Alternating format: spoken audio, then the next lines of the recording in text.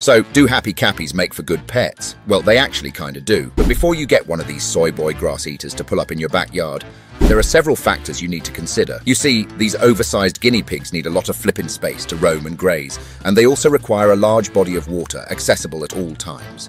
The happy cappy is also highly social, so if you get one, you probably have to get another one as well, unless you want a sad cappy. Now, you might see this as an absolute win, but they eat and shit a lot, so it is going to be a costly endeavor, both financially and time-wise. They can also live for over 10 years, so it's not like those hamsters that survive two weeks at most before ending up in the vacuum. Training a happy cappy is also not as easy as training a dog or cat, in addition to this, finding a veterinarian with capybara experience might be very challenging, but the most important factor might be the legal restrictions, as they are not legal most places, so check your local laws and regulations before letting a happy cappy pull up at your front door. Click the link below for an even better video.